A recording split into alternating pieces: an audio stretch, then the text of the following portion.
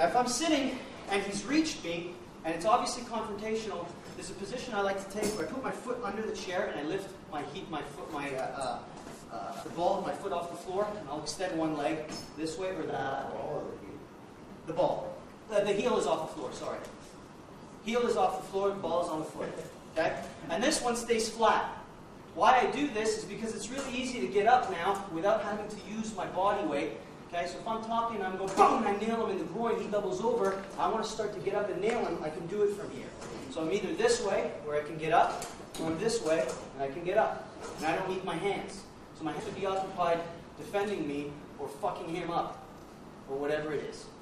Okay? So if you're sitting like this, this is fine. He's coming over, shift over, I'm talking to him here. Heel off the floor, foot flat, hands come up. Okay? So I'm talking to him. Same thing. Here's the passive stance or de-escalation stance. Closest weapon, closest target, well, his groin's right in front of me. Okay? If I need to strike him, I'm right here.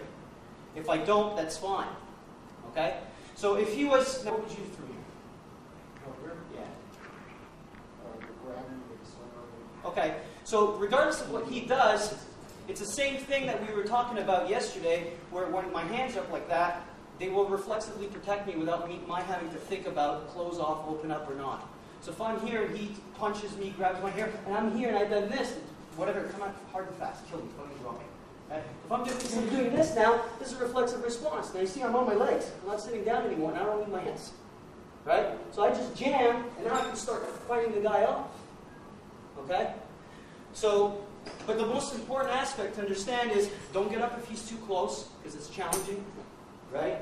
Okay? And just keep your position this way or this way. And just train it. Just sit down and work it.